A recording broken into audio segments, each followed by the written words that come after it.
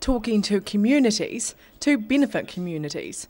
This Australian speaker has been giving locals a lesson on how to build better neighbourhoods within the city. He's a, a, really experienced community development worker that's been um, working in 1,600 communities across the world.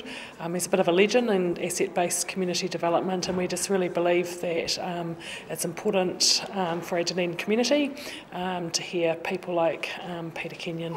Dozens of community leaders attended, gaining an insight into creating and maintaining a successful society.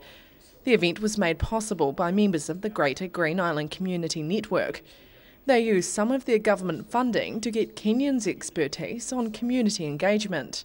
We just really felt that it was important for the rest of the Dunedin community to hear Peter. There's some really amazing projects happening around the city, and we just wanted to bring all those people together so that they got to experience um, Peter Kenyon as well. Workshop sessions were focused on asset based neighbourhood development.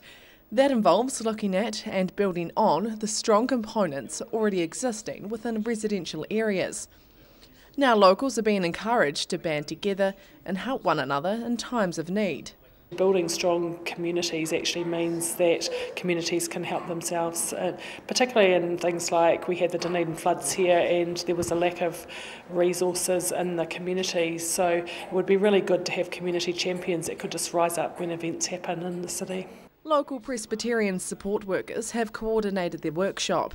They're hoping it'll lead to residents being more active within their suburbs, resulting in a more inclusive city. Annabelle Dick, 39 Dunedin News.